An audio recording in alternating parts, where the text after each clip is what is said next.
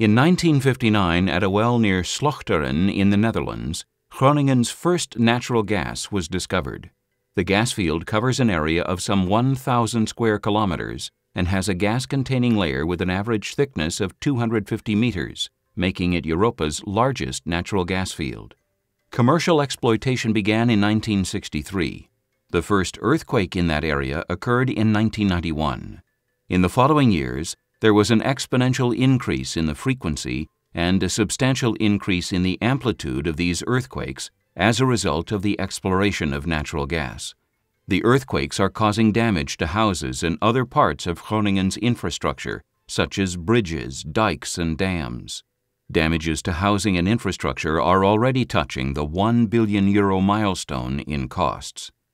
Our solution to these problems seems rather simple. We inject water into the underlying water layer of the gas reservoir.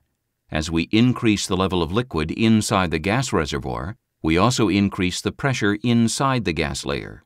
So, if we inject water at the same speed as we harvest gas, there is no change of pressure inside the gas reservoir. Before we show you how this technology works and how we solve the problems that causes earthquakes, let us first have a look at what happens inside this gas field. Sediments of vegetation on the bottom of an ocean will, over time and under pressure, turn into coal beds. The added pressure of heat will make these coal beds release gas with a water vapor content. This gas travels upwards through the porous sandstone layer till it reaches an impermeable salt layer. Having nowhere to go, the gas builds up.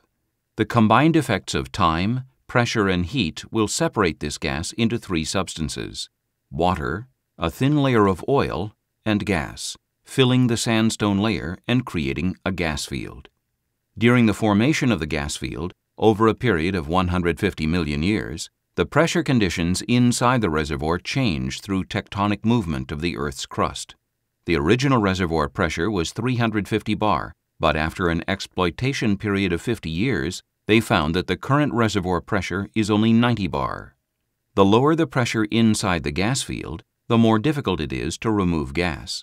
This means that at a certain point, the pressure inside the gas field will become so low that it will not be economically and technically feasible to remove gas.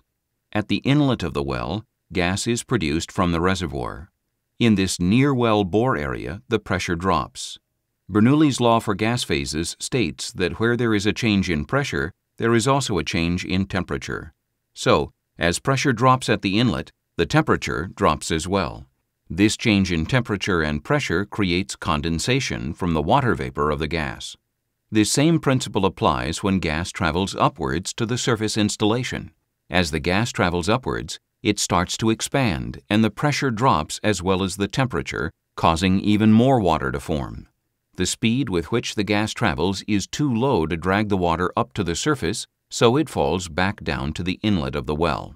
All this condensation and water will collect in pools and start to stream down through the sandstone layer.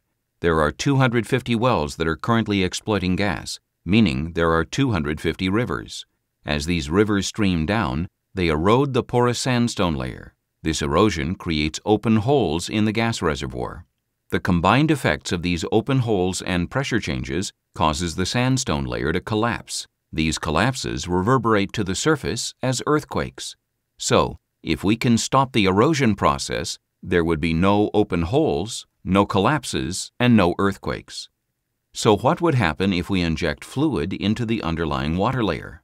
First off, we inject the fluid at the same speed as we harvest the gas, so there is no change in reservoir pressure. As the water level inside the sandstone layer rises, gas can be produced from the field more easily, meaning we can restore production to its full potential. An added and significant bonus is that we can now also produce most of the gas from the reservoir because water is replacing the gas and filling the open holes in the gas reservoir. Since water fills up the porous sandstone layer and the pressure is now constant, the sandstone layer won't collapse, halting the earthquakes a simple solution to a complex problem that is economically profitable and environmentally safe.